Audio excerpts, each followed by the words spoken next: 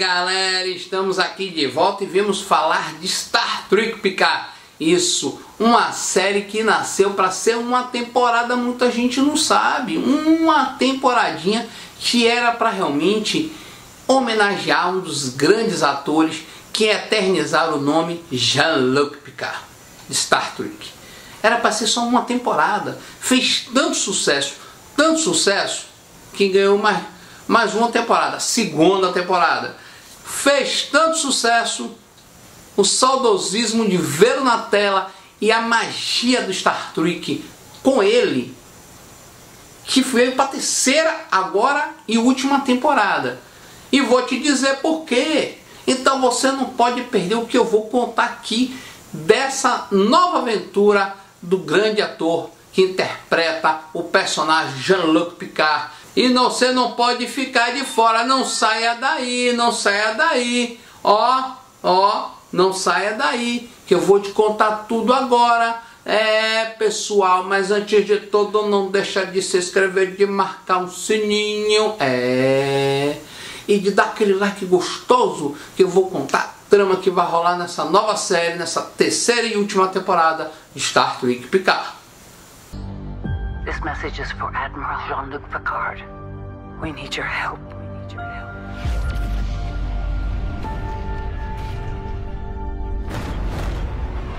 I need to find a ship. We need to find a ship. Now, I can't ask you to put yourself in danger. Since when? Jean-Luc,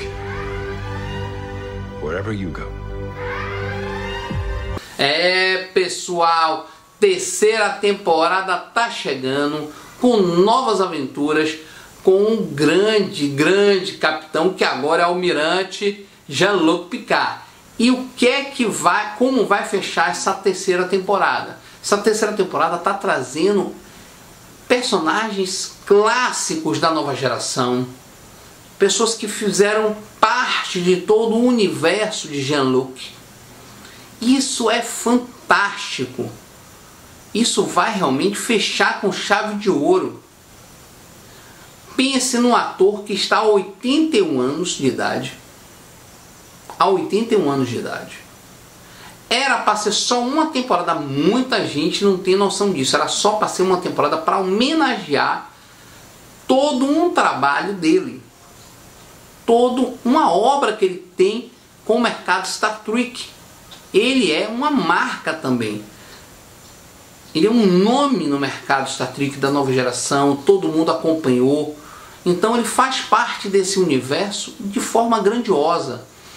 Mas aí rolou a segunda temporada e também foi muito bom. Ninguém deixou, o negócio foi tão bombástico que fechou a terceira e última temporada por pedido dele. Ele já está 81 anos de idade e você tem que ter fôlego, mesmo no ritmo que eles gravam, no ritmo do ator, na pegada dele. Mas 81 anos é 81 anos. Você vê atores aí já já se aposentando. O próprio Sylvester Stallone agora anunciou esse ano a aposentadoria, não chegou nem aos 81, mas já disse que não faz mais, está terminando os últimos trabalhos que estavam no seu pacote. Então ele veio para esse desafio para uma temporada, está na terceira já. Então, pessoal, não deixa de assistir. Já assistiu o primeiro episódio? Saudosismo total. Isso é quem sabe, quem conhece a forma de bolo, não muda, não fica misturando coisas, inventando coisas que não tem nada a ver com o universo do Star Trek. Sabe fazer. Então trouxe personagens antigos, da vivência dele, da vida dele, do mundo que ele vivenciou quando era capitão. Pessoas. E a trama rola em cima de uma personagem que foi a sua capitã médica, né, que ele não vê há 20 anos, e manda uma mensagem codificada para ele. Aí ele vai ao seu socorro para saber o que é que está acontecendo. E ela manda uma mensagem codificada que não era para procurar a frota. Não confie em ninguém e nem fale com ninguém da frota.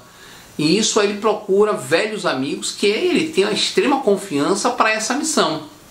E aí, papai, é saudosismo total. Então eu vou ficar por aqui já lançou o primeiro episódio, vai lá assistir, é na Prime, né? A Prime tá top, tá top, vindo trazendo coisas novas, lançamentos de novas séries.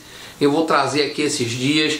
Então, pessoal, não deixe, você que é fã do mundo Star Trek, não pode deixar de assistir. Eu fico por aqui, até a próxima com uma saudação diferente. the Titan. Why don't you do us the honor, Commander?